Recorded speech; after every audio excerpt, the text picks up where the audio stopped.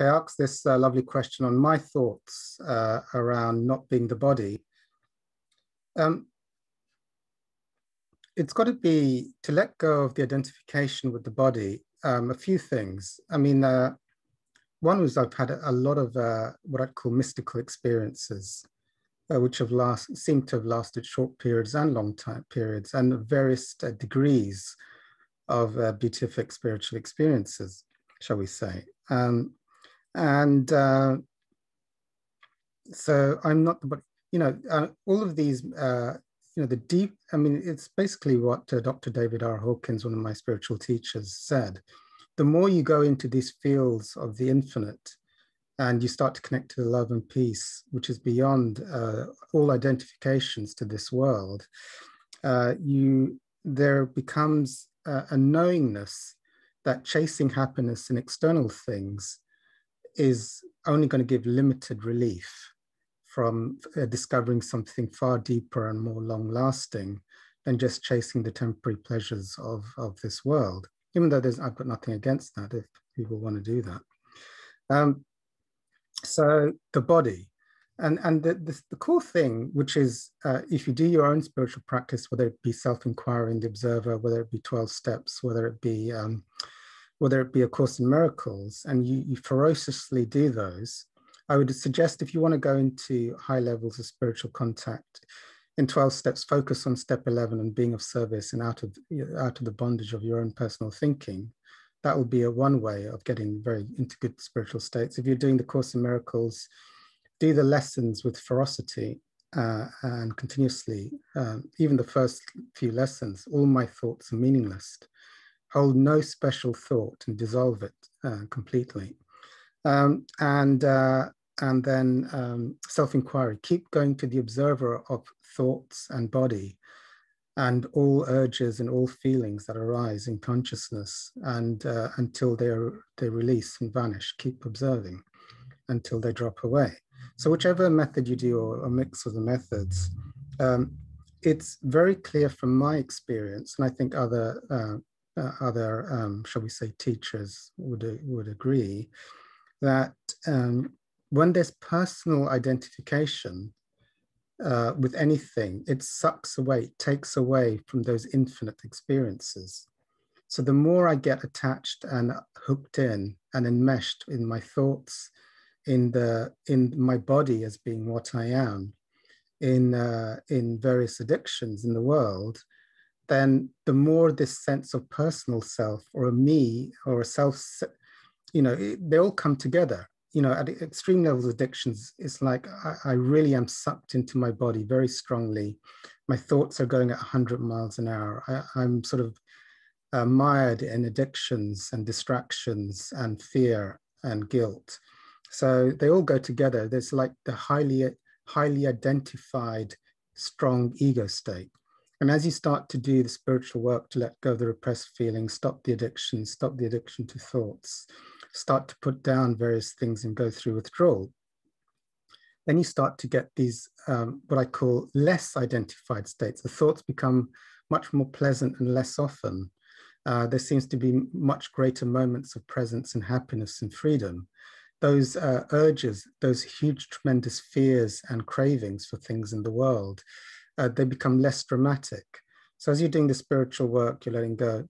Now, depending on how you do your spiritual work, in which particular spiritual method, you'll be working on letting go, you could say, or surrendering, whichever spiritual discipline you're using, various um, various identifications like the body as being important, the thoughts, the beliefs, the fears, the resentments, um, the idea of a personal self, the idea of the personal ego self being the thing that will take care of me, that there's nothing greater than that. So you'll be working on releasing a lot of these core identifications.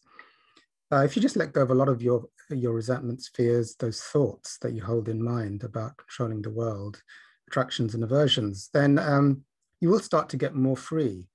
But uh, more, uh, you know, um, like the Course in Miracles and like um, uh, self-inquiry, uh, or the observer, uh, it is realized at advanced levels that you've got to let go of the identification with the body because it sucks in so much energy, which blocks you off from the infinite.